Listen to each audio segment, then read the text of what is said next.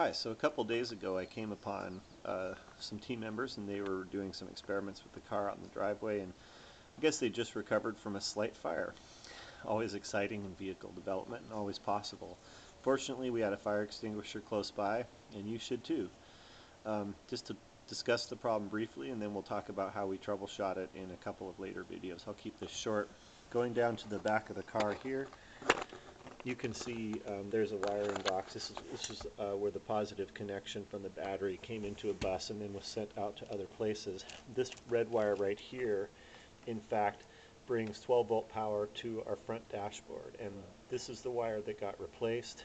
It, uh, in fact, what happened was it just got super hot and the, all the insulation melted off the outside and it started sticking to other things and burned up. That of course is a replacement. So that's the problem we had. That wire leads all the way up to the front. And then in the following videos, you'll see how we diagnosed it.